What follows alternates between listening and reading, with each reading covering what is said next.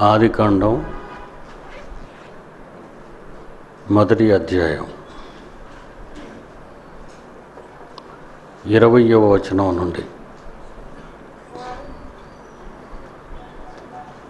దేవుడు జీవము కలిగి చలించు వాటిని జలములు సమృద్ధిగా పుట్టించుగాకని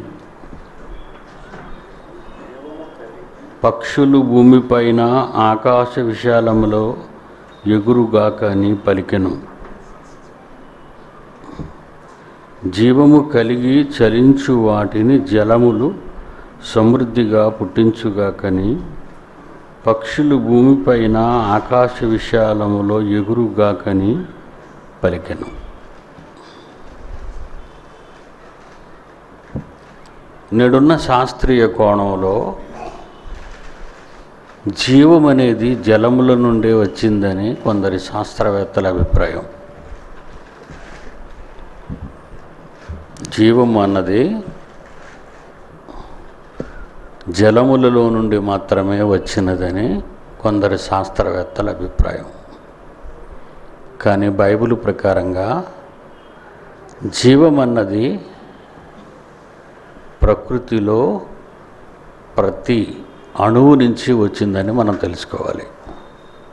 ఎందుకంటే ఆయన ప్రయోగించిన పదజాలాలు మీరు చూస్తే ఇరవయో వచనంలో జలములలో జీవించు వాటిని జలములు సమృద్ధిగా పుట్టించుగాక అన్నాడు. నీట బ్రతికే ఉన్నాయి నేలను బ్రతికే ఉన్నాయి. నీటను జీవించేవి నీటను చలించేవి ఉన్నాయి భూమి మీద అవే. ఉభయచర జీవులు అన్నారు. సపోజ్ కప్పు ఉందనుకోండి సముద్రంలోనూ ఉంటుంది నీళ్ళలోనూ ఉంటుంది నేల మీద ఉంటుంది. అలాగే సీల్ చేపలు మీరు చూసుంటారు. అవి నేల మీద ఉంటాయి నీళ్ళలోనూ ఉంటాయి. ఉభయచర జీవు మొసళ్ళు కూడా మొసళ్ళు కూడా అంతే.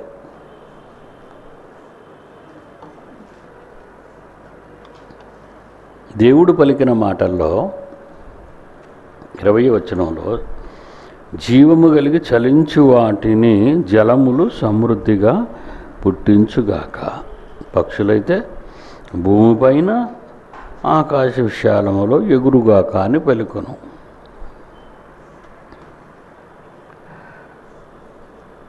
దేవుడు సృజించిన ఈ జీవరాశులకి మూలం మనిషి మనిషిని బ్రతికించటానికి మాత్రమే. మనిషి బ్రతకాలి అంటే జీవున్న ఈ నేల నివాసయోగ్యంగా ఉండాలి. అలా ఉండేటట్టుగా దేవుడు నేలను భూమిని మాత్రమే మలిచాడు. భూమిని మాత్రమే ఆయన మలిచాడు జీవి గ్రహాంతర జీవులు అనే మాటలు ఫ్లయింగ్ ససర్స్ అనే మాటలు ఇవి కేవలం అభూత కల్పనలు. ఇవి అభూత కల్పనలని చెప్పటానికి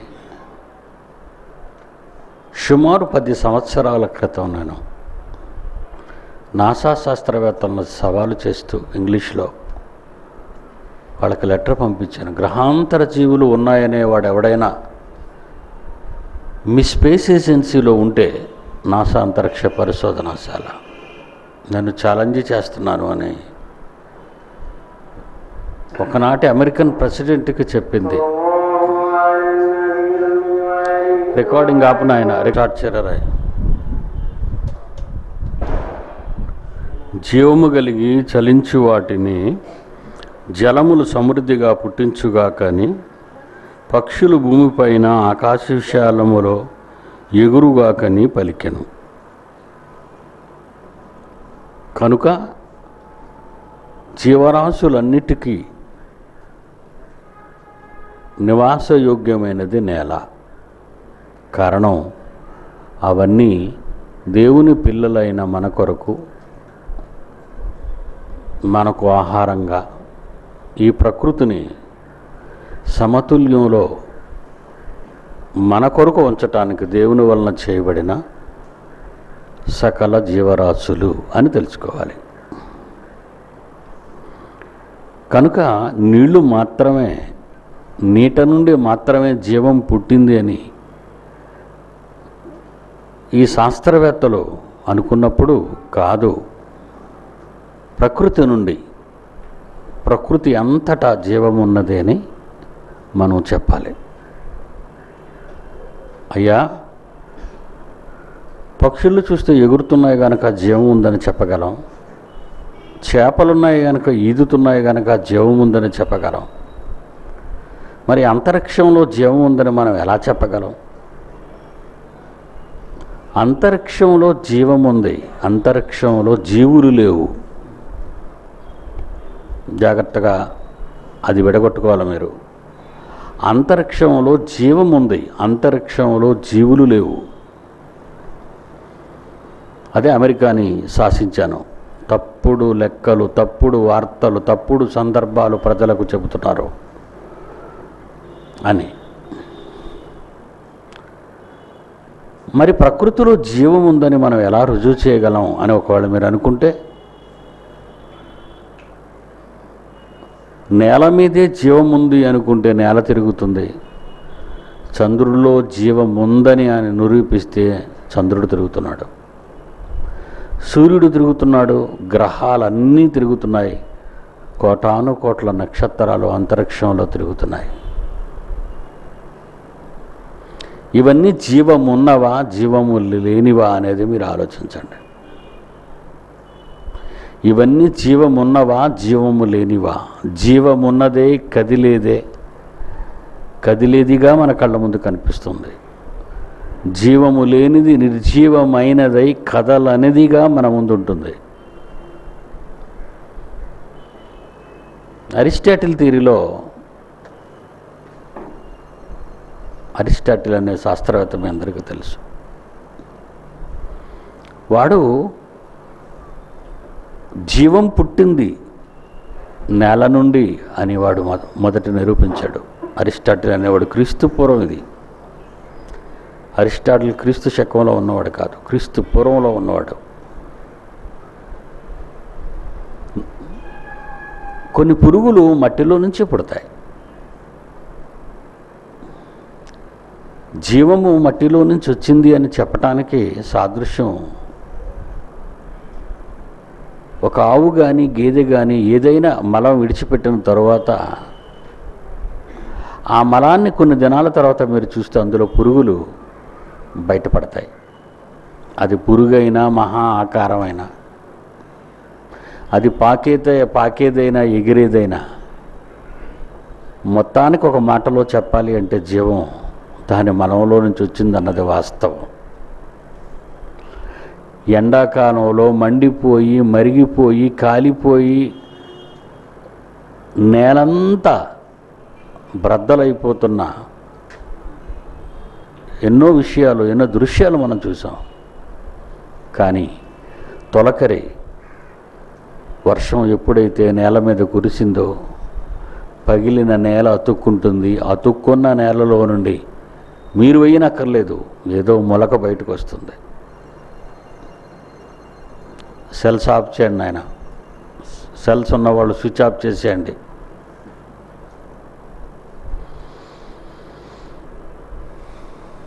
అంటే ఈ కొండను తగలబెట్టండి. మనకు కనిపించే కొండను మీరు తగలబెట్టేయండి. కానీ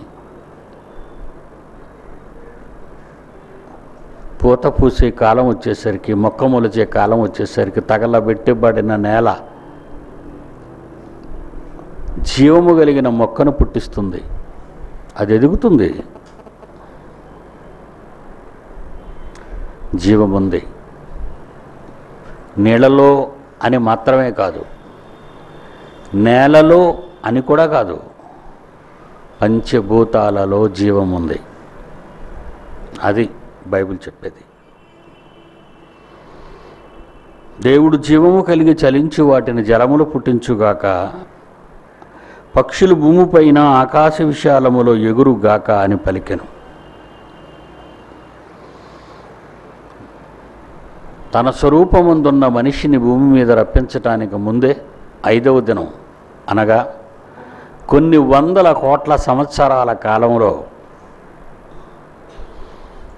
ఈ జీవరాశుల గురించి ఐదవ దినమున పుట్టించుచున్న జీవరాశుల గురించిన సందర్భాలను పట్టే మహాకాలాన్ని దేవుడు చెప్తున్నాడు. ఇరవై ఒకటో వచ్చిన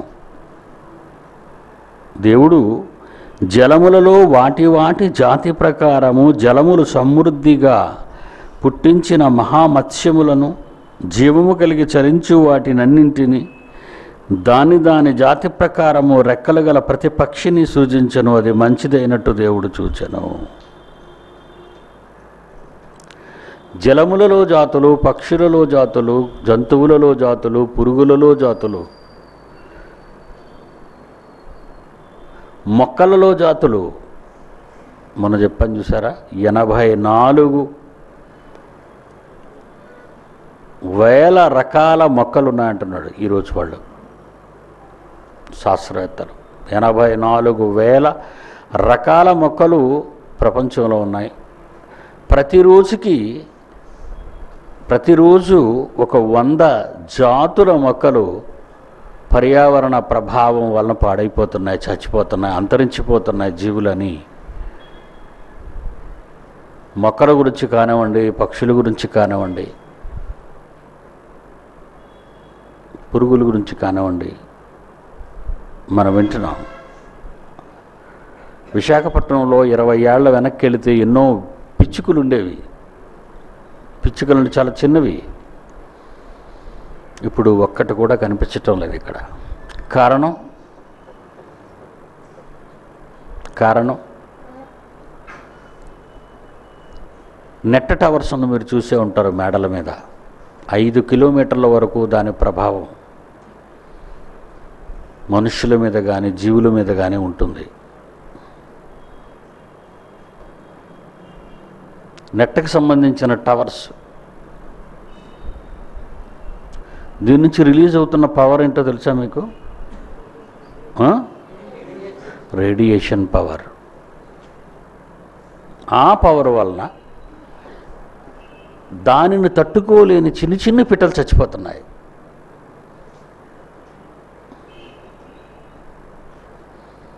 ఎవరి వలన? మనిషి వలన. మనిషి వలనండి. విజయవాడలో గత కొన్ని నెలల క్రితం అయితే ఈ టవర్స్ అన్నింటినీ తొలగించమని ప్రజలు ధర్నాలు చేశారు ఊరేగింపులు చేశారు. ఆయన ఎవడు పట్టించుకోడండి. చస్తే చావండరా. ప్రభుత్వాలు నిలబెట్టాలంటే పెట్టుబడులు కావాలి. ఆ పెట్టుబడులు పేద ప్రజలు మీరే ఇస్తారు పార్టీలకి రాజకీయ నాయకులకి. వ్యాపారస్తులు ఇవ్వాలి టాటా బిర్లాలు ఇవ్వాలి అనిల్ అంబానీలు ఇవ్వాలి పెట్టుబడిదారులు వీళ్ళు కోట్ల రూపాయల వ్యాపారులు వీళ్ళు.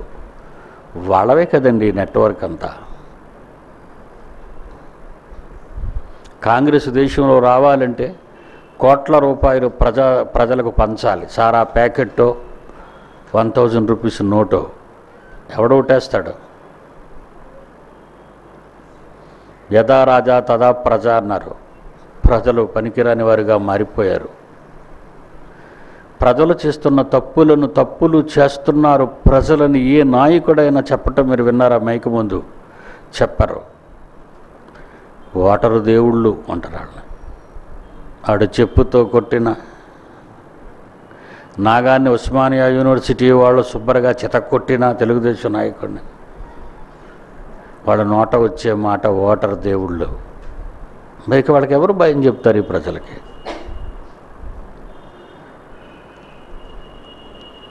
వాళ్ళ జ్ఞాని కాకూడదు. ప్రజలు మేధావులు కాకూడదు. ప్రజలు మేధావులు కాకూడదు. సోదిగాండల్లాగే ఉండాలి తెలివి తక్కువలాగే ఉండాలి పిచ్చి సన్నాసుల్లాగే ఉండాలి. వాళ్ళ పిచ్చిని వీళ్ళు క్యాష్ చేసుకుంటున్నారు. వాళ్ళ అమాయకత్వాన్ని వీళ్ళు క్యాష్ చేసుకుంటున్నారు వాళ్ళ తెలివి తక్కువతనాన్ని వీళ్ళు క్యాష్ చేసుకుంటున్నారు. అందుకే ఎవడు ఏ ఇండస్ట్రీ పెడతానన్నా ఆ ఇండస్ట్రీకి అనుమతి ఇచ్చేస్తారు. ఎందుకంటే కొన్ని వందల కోట్లకి ఇస్తారు వాళ్ళు. లంచం అనుమతి. ముప్పై ఏళ్ళ క్రితం భోపాల్లో జరిగినటువంటి గ్యాస్ సంఘటన మీ అందరికీ తెలుసు. ఆ రాత్రి చనిపోయిన వారు వేల మంది. వేల వేలు మంది చనిపోయారు ఒక రాత్రి.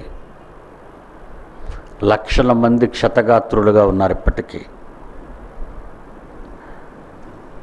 వాడొక అమెరికా వాడు వాడొక పెట్టుబడిదారుడు డబ్బున్నవాడు విదేశీ సంస్థది యూనియన్ కార్బైడ్.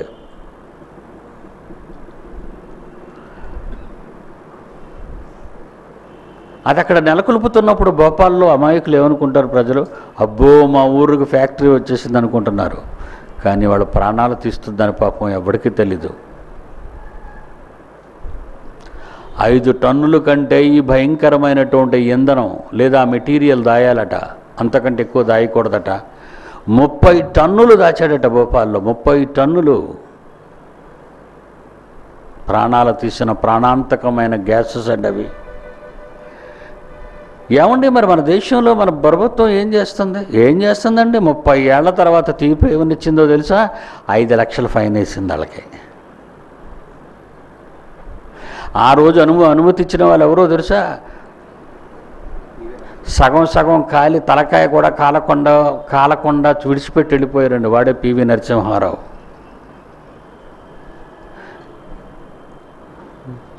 చంద్రస్వామితో కలిసి ఆ రోజుల్లో వీడు ప్రధానిగా ఉన్న కాలంలో వీళ్ళంతా కూడా ఈ పండితుల్ని ఆశ్రయిస్తారండి భక్తుల్ని బాబాలని దొంగ బాబాల ఆశ్రయం ఆశ్రయం ఆశ్రయం ఉంటుంది వీళ్ళకి.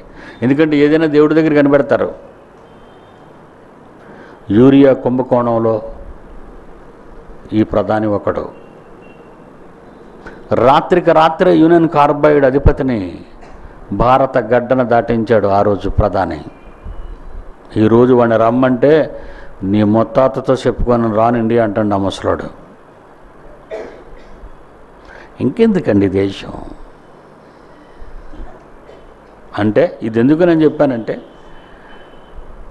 ప్రజలని తెలివిలేని వారునిగా చేసి వాళ్ళ మీద క్యాష్ చేసుకుంటున్నారు. కోట్ల రూపాయలు పెట్టుబడి కోటీశ్వరుల నుండి కావాలి కనుక వీడు వీడు కుటుంబం. కోట్ల రూపాయల సంపాదనతో ఉండాలి తొలతోగాలని అమాయక జనాన్ని సర్వనాశనానికి గురి చేస్తున్నారు. అదే సమస్య ఈరోజు మన విశాఖపట్నానికి కూడా ఉందా మర్చిపోకండి. ఎన్నో రసాయనాలు వ్యర్థ పదార్థాలు steel plant zinc HPCL NSTL భయంకరమైనటువంటి మారణాంతక ప్రాణ మారణాంతకమైన ప్రాణ ప్రాణాన్ని తీసే భయంకరమైనటువంటి రసాయనాలు వ్యర్థ పదార్థాలని సముద్రంలోకి విడిచిపెడితే చిన్న చేపలు చచ్చిపోతున్నాయి. ఎంతమంది చూసారో చేయొద్దండి ఆ న్యూస్? సాక్ష్యం మిగతా వాళ్ళు నమ్ముతారో నమ్మరని. వీళ్ళు నమ్మరు. పీడీ సుందరం నమ్మంది చెప్పడు. చెంప చెల్లుమని కొట్టేటట్టు చెప్తాడు ఏదైనా. అబద్ధం చెప్పవలసిన కర్మ నాకేమీ లేదు. చచ్చి చేప చిన్న చేపలు చచ్చిపోయి పెద్ద చేపలు ఎందుకు చావలేదు? రెసిస్టెన్స్ పవర్ ఎక్కువ వాటికి. అందుకే చావు. నువ్వెందుకు చావలేదు? నీకు రెసిస్టెన్స్ పవర్ చేప కంటే ఎక్కువ. అందుకే నువ్వు చావు. ఆ లిమిట్ దాటిందనుకోండి నీకెంత పవర్ ఉన్నా లేపేస్తుంది నిన్ను. అదే భోపాల్. కానీ టీవీ వాళ్ళు చెప్తున్నారు చేపలు తినకండి చేపలు తినకండి చేపలు తినకండి. చిన్న చచ్చిపోయిన చేపలని తీసుకొచ్చి బజార్లో పెట్టి అమ్మేస్తున్నారు ఈరోజు. మనకు ఫిష్ కర్రీ పులుసు పెట్టడం అంటే సంతోషం. విషం కొందెచ్చుకు తినకండి. మూత్రపిండాలు గుండో కాలేయమో ఎగిరిపోతాయి మీకు తెలీదు. గుండు నొప్పే కదా తలనొప్పే కదా అని తీసుకెళ్ళాడు సునీల్ తిరుపతిలో భార్యనే. హాస్పిటల్ నుంచి ఇంటికి రావడానికి బిల్ ఎంత అయిందో తెలుసా? నాలుగు లక్షలు. నాలుగు రూపాయల చిన్న చేపల గురించి కక్కుర్తి పడ్డావు అనుకో. నాలుగు రూపాయల చిన్న చేపలు పులుసు పెట్టుకుని గొప్ప టేస్ట్గా ఉంటుందని మా జాన్సన్ కూడా అదే చెప్తున్నాను ఇప్పుడు. ముందు వాడు వినాలి. వీడే చేపలు పిచ్చాడు. నాలుగు రూపాయల చిన్న చేపలను కక్కుర్తు పడ్డావా? ఇల్లు అమ్మేసుకోవాలి. అర్థమైందా?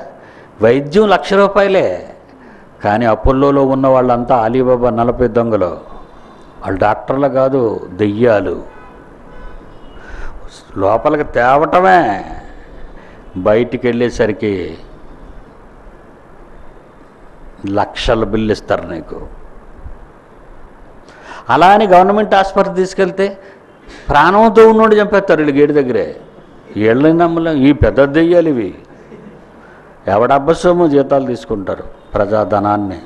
మన కష్టాన్ని దోచుకుంటున్నారు వీళ్ళంతా.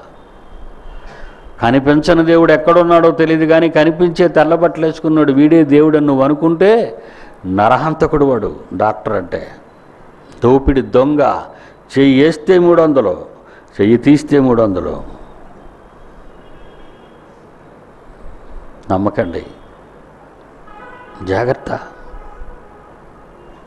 పర్యావరణం కలుషితం అయిపోతుంది కోట్ల రూపాయలు పెట్టుబడి పెడుతున్న కోటీశ్వరులకు ఇవ్వకూడని ఫ్యాక్టరీలకు అనుమతి ఇవ్వకూడని వ్యాపారాలకు అనుమతి ఎవరిచ్చారు సెంట్రల్ గవర్నమెంట్. వాళ్ళు అసలు ఆలోచిస్తున్నారా? ఇలాంటి వ్యాపారాలకు అనుమతిస్తే ప్రజా ప్రాణాలకే ప్రమాదం అన్న సంగతి ఓట్లు అడగడానికి వచ్చే ముందే కన్నబిడ్డలు అంటాడు ఈ దొంగ. ఈ దౌర్భాగ్యుడు. ఇది ఉప ఎన్నికలు జరుగుతున్నాయి తెలంగాణ ప్రాంతంలో. ఓటర్లందరూ దేవుళ్ళే అక్కడ. మిగతా వాళ్ళంతా దెయ్యాలా? ఆ దొంగ వెధవల్ని గెలిపించటానికి అమాయక జనాన్ని దేవుళ్ళని చెప్తున్నారు. కోట్ల రూపాయలు సంపాదించింది ఆ విదేశాంతి పళ్ళై కారెక్కిపోయి ఉన్నాయి మధ్య చూడండి. నీతి నియమం లేని ఆడది. తెలంగాణ తల్లి పార్టీని స్థాపించి ఆ తల్లి పార్టీని ఒక తన్ని పక్కకు దోసి జై తెలంగాణ ఉద్యమంలో జాయిన్ అయి కేసీఆర్ పంచన చేరింది. ఎందుకు? ఓటు సంపాదించావు కదా. ఎంతో మందితో నటించానని చెప్పుకొని జీవించేశావు కదా. ఎంతో మందితో నటించ నట నటన అంటారు నృత్యరే కెమెరా ముందు నటన. కెమెరా లేనప్పుడు జీ జీవితం జీవితారు మీరు మీ మనమంటే మనం ఎర్రుబాగులోమే అబ్బా సహజ నటే నువ్వు ఒక పెద్ద వెర్రివెంగళప్పవి. మనమంతా సహజనట్లమే. అర్థమైందా? జైసు ఒకరితే కాదు సహజనటి. వదిలేస్తే మనం మనం కూడా రెచ్చిపోతాం. ఒకసారి గుంటలు చూడండి. చిన్న చెడ్డీలు వేసుకొని చిన్న గుంటలునే. Dance baby డ్యాన్స్లో. జైసు జైసు చీర కట్టే వరకు డ్యాన్స్ రాదు. ఇది షెడ్డీ లేకుండానే డ్యాన్స్ చేస్తుంది ఇక్కడ. సినిమా యాక్టర్లో కొరియోగ్రాఫర్ ఉండాలి. వీళ్ళకి కొరియోగ్రాఫర్లతో పని లేదు. ఇష్టం వచ్చిన బిట్లు. ఆ మైకిల్ జాక్సన్ గడ పుణ్యం అని అన్ని బూతు బిట్లే.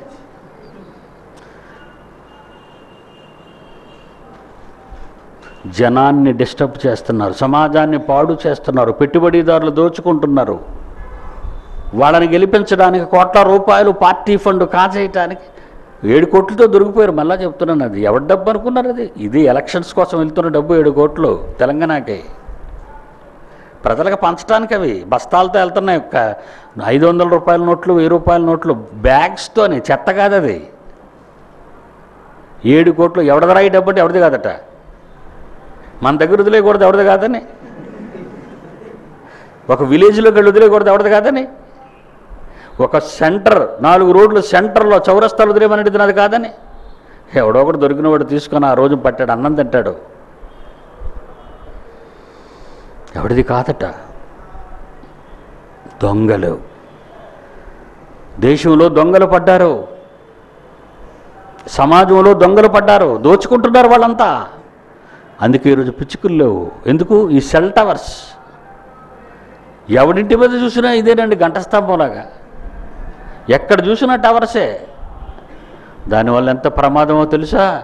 నీ పిల్లల గుండెలకు నీ పిల్లల మెదడుకు నీ పిల్లల కాలేయానికి నీ పిల్లల గుం కిడ్నీలకి ప్రమాదం అది. ఏమనుకోండి సెల్ల దొరికింది కదని చెవు దగ్గర పెట్టి పండగ చేసుకోకు. పిచ్చోడు అయిపోతావు కొంతకాలం తర్వాత. చచ్చే ముందు పిచ్చోడు అవుతావు నువ్వు.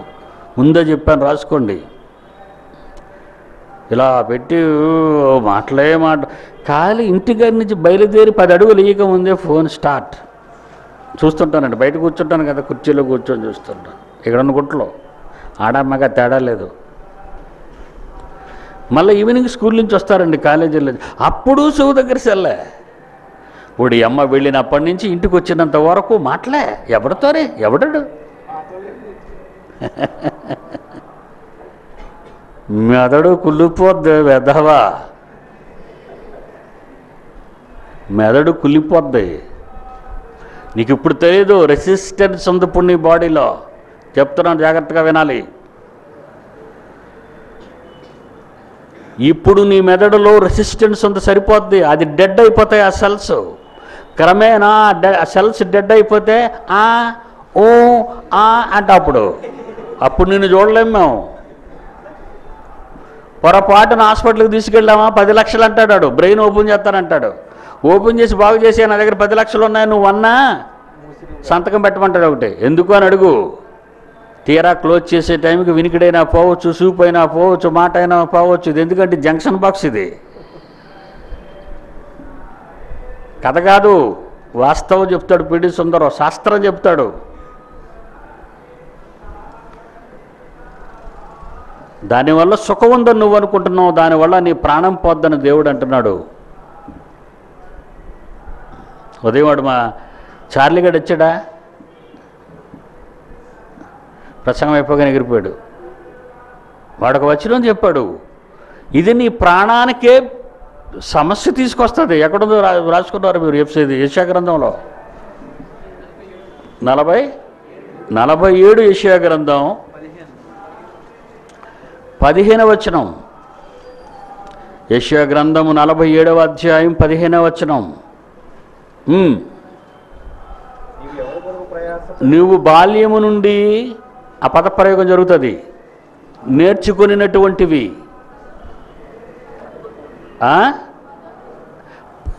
పది పది పది పది. ఆదికాండ నుంచి ప్రకటన గ్రంథం వరకు అరవై ఆరు పుస్తకాలు ఉన్నాయి. ఏ పది? పేకాట్లో పదిలా చెప్తావు. పది పది పది అని. బ్రాకెట్లో నెంబర్ లాగా అరవై ఆరు పుస్తకాలు ఏడిచే చెప్పండి ఏ పుస్తకంలోది అది ఏషియా గ్రంథం నలభై ఏడవ అధ్యాయం పది అది చెప్పండి సిస్టమ్ అది పద్ధతి అది. ఏమనుంది చదవండి?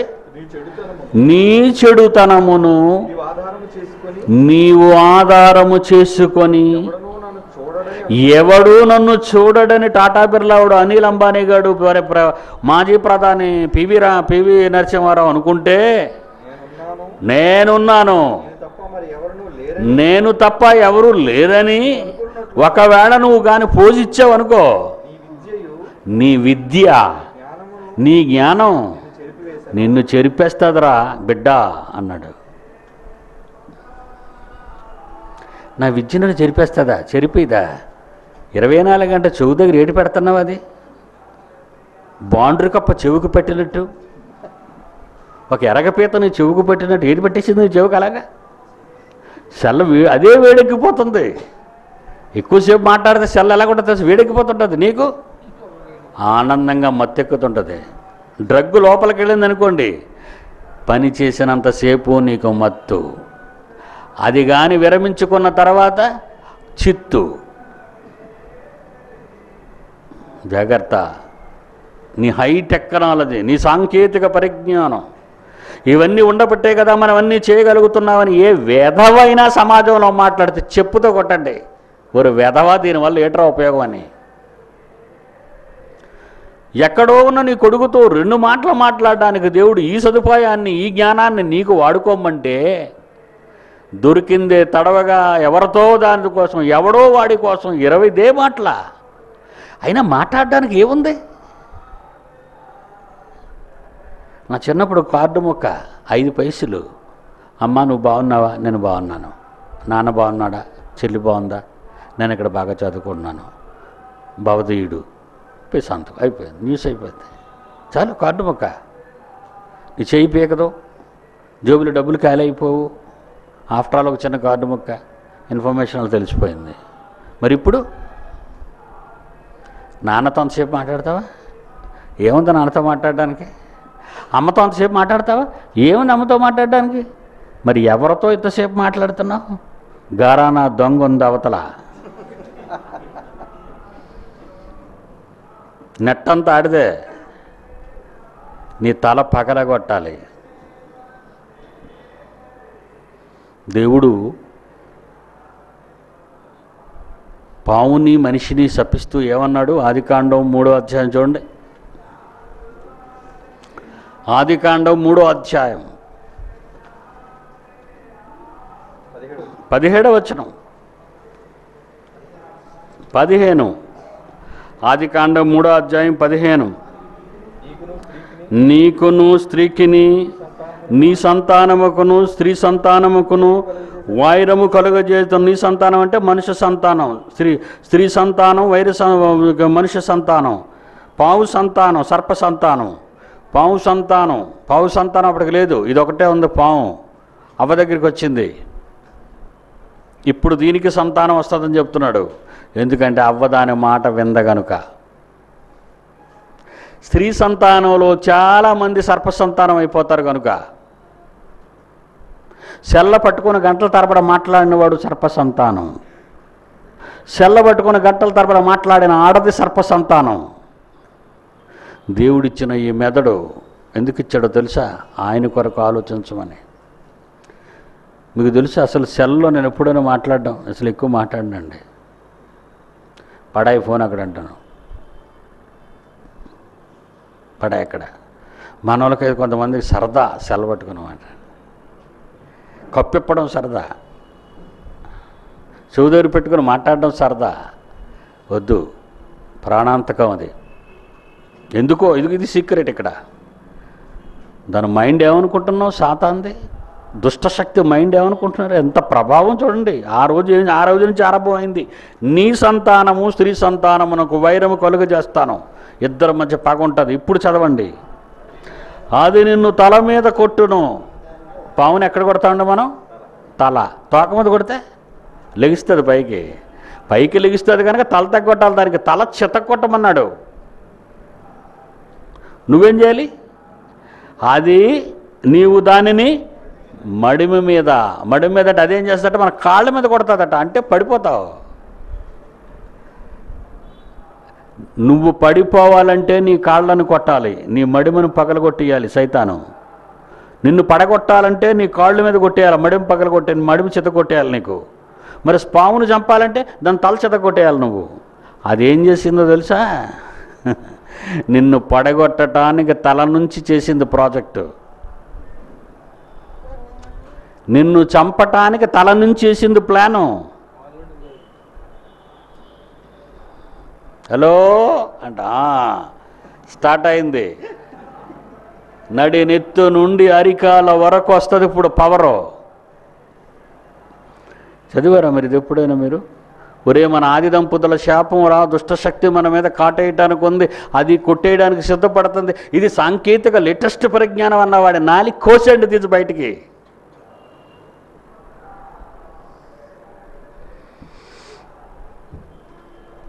ఆలోచించండి రా. దేవుని పిల్లలారా పర్యావరణం సర్వనాశనం అవుతుంది. మానవుడు నివసించే నివాస యోగ్యమైన ఈ భూగోళాన్ని దేవుడు సహజ సిద్ధమైన ప్రకృతి వనరులను ప్రసాదించాడు దేవుడు నీకు. ఎగిరే పక్షులు ఇదే చేపలు ఎన్ని ఎన్నున్నాయి? ఎన్ని మొక్కలు ఎన్ని జాతులు? వాటి వాటి జాతి ప్రకారం. అది కండ మొదటి అధ్యాయం. ఇరవై ఒకటి దేవుడు ఆ జలములలో వాటి వాటి జాతుల ప్రకాతి ప్రకారము జలములు సమృద్ధిగా పుట్టించిన మహామత్స్యములను జీవము కలిగి చలించి వాటన్నింటినీ దాని దాని జాతి ప్రకారము రెక్కల గల ప్రతి సక్ష ప్రతి పక్షిని అవి మంచిదైనట్టు దేవుడు వాటిని చూసి ఏమంటున్నాడట? ఇరవై రెండు. మీరు ఫలించి అభివృద్ధి పొంది సముద్ర జలములలో నిండి ఉండుడని పక్షులు భూమి మీద విస్తరించి వాటిని ఆశీర్వదించాడట. వాటిని కూడా ఎంత ఆశీర్వదించాడు చూసారా నిన్ను ఆశీర్వదించాడు ఒకటో అధ్యాయం. కిందకి వెళ్ళేసరికి తర్వాత చదువుకుందాం. నిన్ను ఆశీర్వదించాడు ఆయన. వాటిని ఆశీర్వదించాడు. ఏమని ఆశీర్వదిస్తున్నాడు? ఇరవై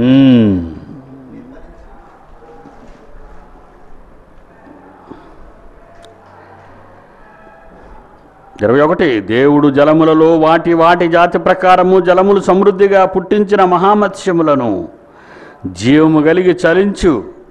వాటన్నిటినీ దాని దాని జాతి ప్రకారము రెక్కల గల ప్రతిపక్షిని సృజించిన తరువాత మంచిదైనట్టు దేవుడు? మంచిదైనట్టు దేవుడు? చూచెను.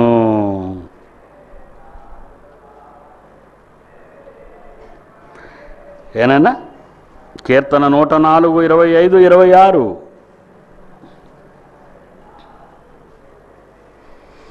కీర్తన నూట నాలుగు ఇరవై ఐదు ఇరవై ఆరు. ఇదిగో విశాలమైన మహాసముద్రం. అందులో లెక్కలేనన్ని జలచరములు. దానిలో చిన్నవి పెద్దవి జీవరాశులు పెద్దవి జీవరాశులున్నవి జీవించే ఉన్నాయి. అందులో పైన వాడలు నడుస్తున్నాయి లోపల సబ్మెరిన్స్ వెళ్తున్నాయి. దానితో దానిలో ఆటలాడుటకు నీవు నువ్వు నియమించిన మకరములున్నవి నువ్వు ఆడుకుంటావా వాటితో? డాల్ఫిన్స్ తిమింగలాలు ఆడుకుంటాయి మనుషులతో ఆడుకుంటాయి అవి. ఎప్పుడు చెప్పాడండి మాట? మహామత్స్యాలు నీతో ఆడుకునే నీతో ఆడుకునే ఉన్నాయి. ఆడుకుంటావా? నేను కలిగించిన ప్రకృతి నీకు హానికరం కాదు నువ్వు సాధు చేసుకోవాలి వాటిని. నువ్వు సాధు చేసుకోవద్దా వాటిని. నీవు నచ్చితే నీ పరిస్థితులు దానికి నచ్చితే అది పామైనా మొసలైనా ఏనుగైనా మకరమైనా మొసలైనా నీ మాట వింటది అది. చదువు నాయన ఎంత మంచి మాట. ఇదిగో. ఇదిగో విశాలమైన మహాసముద్రం. అందులో లెక్కలేనన్ని జరచరములు. దానిలో చిన్నవి పెద్దవి జీవరాశులు దానిలో చిన్నవి పెద్దవి జీవరాశులున్నవి. అందులో వాడలు నడుచుచున్నవి. వానిలో ఆటలాడుటకు నేను నియమించిన మకరాలు నీకోసమే వాటిని పెట్టాను. అవి ఉన్నాయి ప్రకృతితో ఆడుకో. ప్రకృతితో ఆడుకోకు. పర్యావరణాన్ని పాడు చెయ్యకు. పర్యావరణంతో ఆడుకో. అనుభవించు. పర్యావరణాన్ని పద్ధతి ప్రకారంగా అనుభవించు. పాడు చేయొద్దు.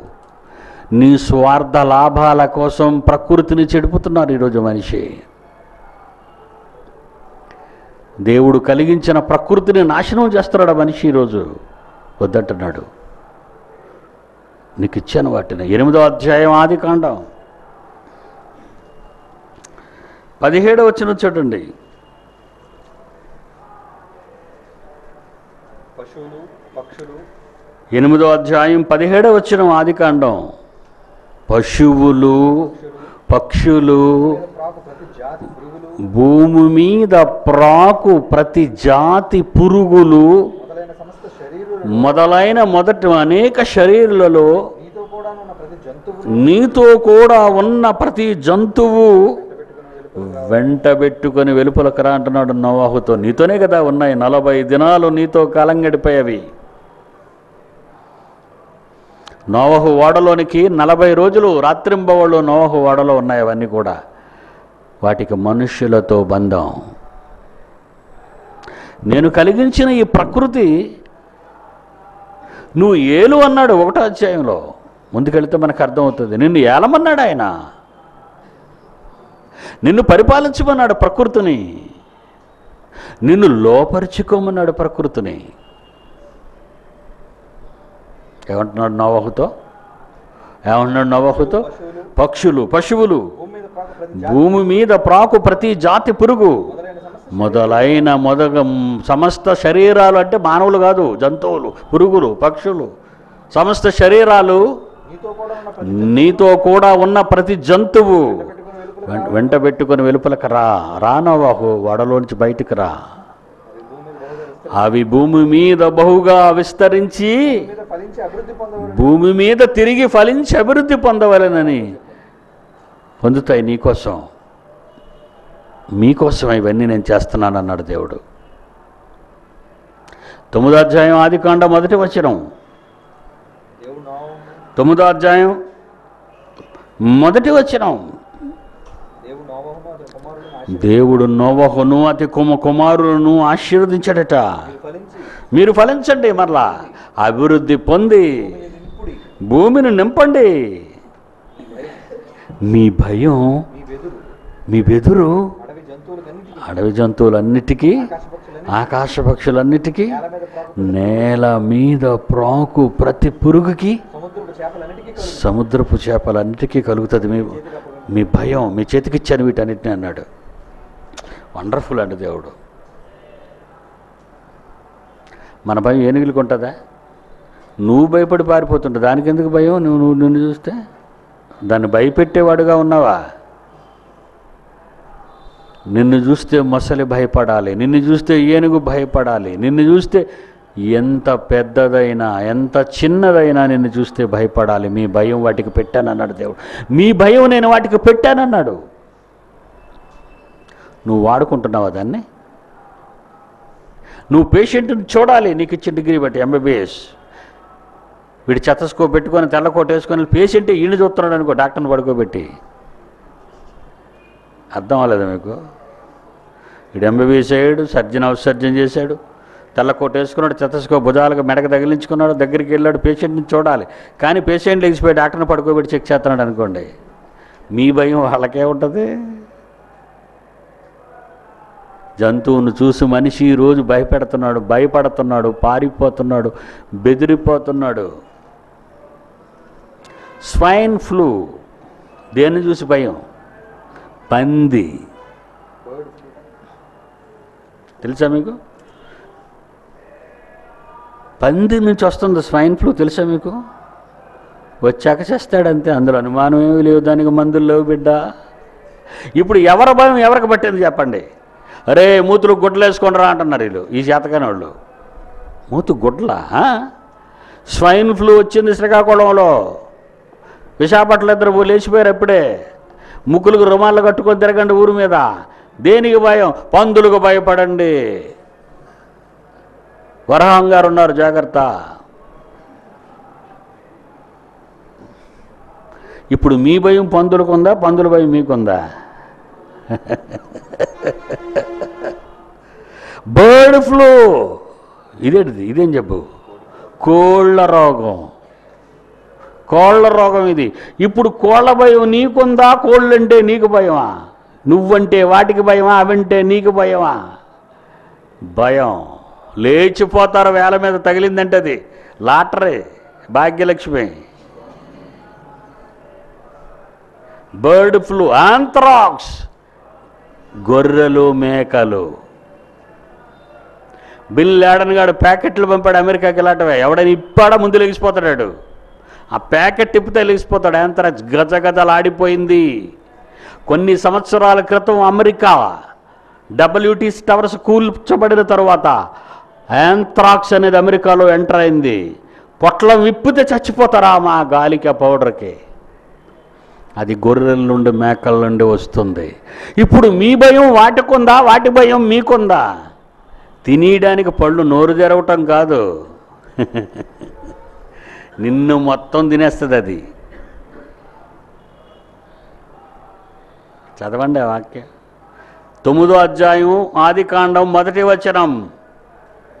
దేవుడు అతని కుమారులను నోవహను అతని కుమారులను ఆశీర్వదించాడు. ఫలించి అభివృద్ధి పొందండి. కిందకి. మీ భయము మీ భయము మీ బెదురు అడవి జంతువులకు ఆకాశ పక్షులకు నేలన ప్రాకు పురుగుకు సముద్రపు చేపలకు కలుగును. ఇప్పుడు వాటిపై మనకు పట్టేసింది ఇప్పుడు. ఏవి తింటే ఏ రోగం వస్తుంది చేపలు తింటే చచ్చిపోతామట. కోళ్ళు తింటే చచ్చిపోతామట. పందులు తింటే చచ్చిపోతామట. ఆ? చేపలు తింటే చేస్తాం కోళ్ళు తింటే పక్షులు తింటే చేస్తాం జంతువులు తింటే చేస్తాం. మన భయం వాటికుండా మన దేవుడు చెబితే వాటి భయంతో మనం పరుగులు తీస్తున్నాం. ఎందుకు అయింది ఎందుకు తిరిగింది తెలిసింది ఎందుకు తిరగబడింది మొక్క? నువ్వు జోకరవు కనుక నువ్వు వెర్రివాడివైపోయావు. దేవుని జ్ఞానం వర్రా ఈ జ్ఞానం ప్రపంచంలో ఎవడైనా ఎప్పుడైనా ఎక్కడైనా ఏ పుస్తకంలోనైనా మీరు చదివారా? ఇప్పుడు పిడి సుందర్రావు చెప్తేనే ప్రపంచానికి వెలుగుతుంది ఇప్పుడు ఇప్పుడు వెలుగుతుంది అందరికీ తప్పు చేసింది వ్యవస్థ. దేవుని నిర్మాణంలో దేవుని సృష్టి కార్యక్రమంలో దేవుడు వ్రాయించిన వాటిని నమ్మని మనిషి నెత్తికి తెచ్చుకున్నాడు. కారణం? తప్పు చేశాడు.